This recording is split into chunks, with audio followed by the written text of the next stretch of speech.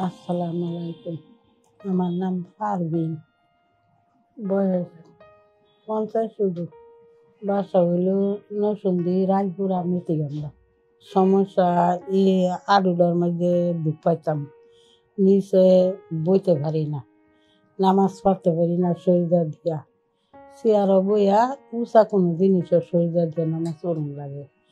এরপরে এই রোগটা আছে না, এই রোগটা খিসা মারে। টানা মারে। এরপরে দেয় আলুটার দুধ পাই।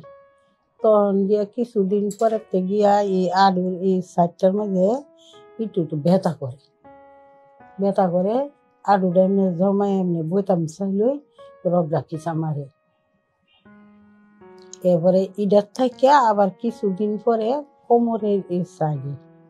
মানে আজকে যদি কোমরের সাইডে খারাপ লাগে, দুদিন পরে আর কোমরের সাইডে কোনো খারাপ নেই।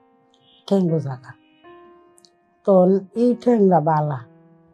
তখন এটার থেকে এই সমস্যাগুলো দেয়া দিতে গিয়া পরে দেখি কি যে এই জায়গাটাই এতটুক জায়গা অবসর মতন হয়ে যাবে তখন নিজে এমনি আস্তে আস্তে হাতে ইমুন করলে কিছুক্ষণ পরে গিয়া এটা ছাইরা দিই এইগুলি কতদিন বড় এই ঠেঙ্গা মিলে পরে দেখি গিয়া আস্তে আস্তে এটা তো বড় হইতাছে এটা তো বড় হইতাছে এটা বড় হইল ব্যথা করে না, দুঃখ পাই রগটা টানা লাগে। এরপরে দা এই এই সাইডটার মধ্যে এই জায়গাটার মধ্যে এই এইটা যেমন করে, এই সাইডটার মধ্যে এতটুক জায়গা। তখন চিপ টিপ দিলে এমনি ইমুন টিমুন করলে, পরে সাইডা লগে। এই সমস্যাটা হয়েছে আরও মাঝে দুঃখ পাই দুঃখ পাই বইতাম পারি না যে বছর তিনেক দূরে। এমনি কোনো ওষুধ করে খাইছি না, তখন যখন চলতে পারি না, তখন ভৈরব একটা ডাক্তার দেখাইছি। পরে ডাক্তারে পরীক্ষা করল পরীক্ষা করে করল যে আড্ডি ক্ষয় গেছে গা।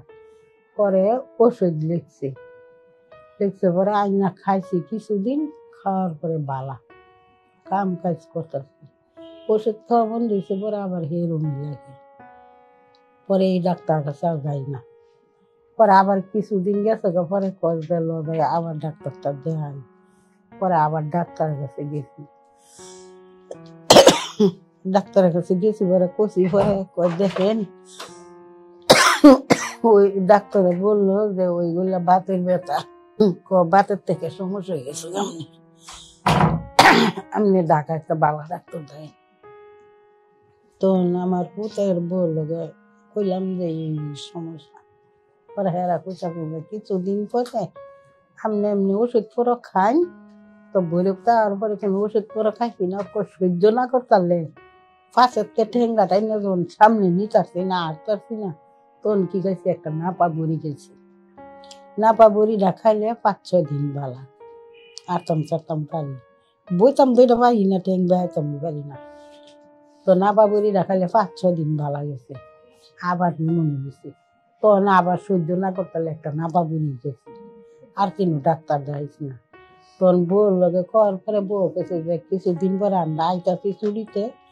আয়া ঢাকা বালা ডাক্তার দেখে আপনারা দেখাবো আমারও ব্যথা আছে, আমিও দেখাবো এরপরে দেওয়া পুত বউ, নাতি তা ঈদের এক সপ্তাহ আগে আইসি আইসে পরে পুতে কইতাছে যে ঈদ কাছে আইসি অনেক কুরবানি টুরবানি কিনুন ঝামেলা ঈদে করি একবারে লিয়ে এই ঈদের পরে লিয়ে এই সমস্যা আমার। আমার এই আলুটা বালা হইলে আমি মনে করি সব বালা আমার। আলুটাই অসম।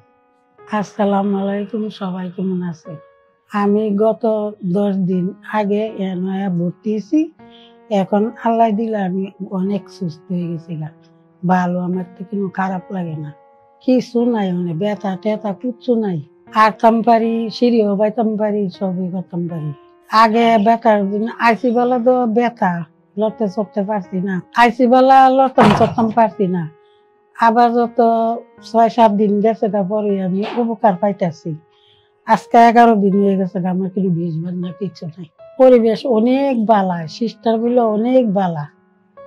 মেয়েরার মতন, মার মতন করে হেরা আমরা মেয়েরার মতন দিই।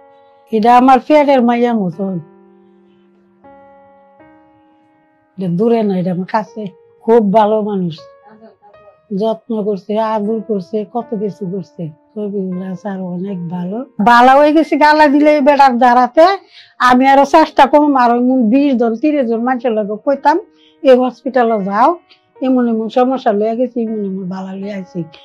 যাও। আমার সাথে আমার ছেলের বউ ভর্তি তার একটু মোটামুটি কমতেছে, তার ব্যথাটা বেশি আছে। এলে তার ব্যথাটা ইয়ে হইতাছে না। একটু পরিবর্তন হয়েছে আমার ব্যথাটা কম আছিল, তাহলে আল্লাহ দিলাম তাড়াতাড়ি সুস্থ হয়ে গেছে গা। মানে আমার ছেলের বউয়ের যে ব্যথাটা, গাড়ের, ফিডের, এগুলা কমছে, জয়েন্টের ব্যথাটা একটু লইছে আর সপ্তাহখানি থাকতে। সবাই লেগে আমার ছেলের লাগে যেমন দোয়া করি তোমরা লাগে করি হারা লাগে করি, সবাই লাগে করি, ডাক্তারের লাগিও করি। ব্যথা সারা জীবন বেলা। আল্লাহ যে মানুষের এই ব্যথা দেয় না। এরারে কমু যে, এরা তো জানোই ব্যথা যে আটতারছি না। ইমন করছি ইমন করছি। তো কতটি মানুষ আছে, হেরাও আমার মতো নিমুনি করে। এরা কাছে বলুন কথাটি যে, ইমুক আছে ইমুক খানা আমার ছেলে লয়ে গেছে, আমি আল্লাহ দিলে ভালো হয়েছি যদি তোমরা টপিক থাকে তো আল্লাহ দিলে ইডার মেজে যাও।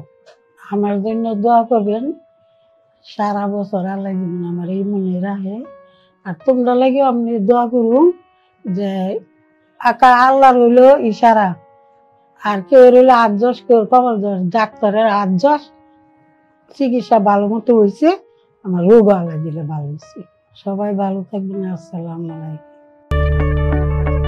আমরা জানি আপনার প্রিয়জন আপনার জন্য কতটা গুরুত্ব বহন করে। প্রপার ডায়াগনোসিস কনসালটেশন পেইন ও প্যারালাইসিস চিকিৎসা পুনর্বাসন আমাদের সব আয়োজনই সবসময় আপনাদের জন্য চব্বিশ ঘণ্টা খোলা। আমরা চাই না আপনারা বারবার আমাদের কাছে ফিরে আসুন তবুও আমরা আছি সব সময় সর্বদা আপনাদের পাশেই। ডিপিআরসি হসপিটাল লিমিটেড আস্থা বিশ্বাস ও নির্ভরতায় অবিচল।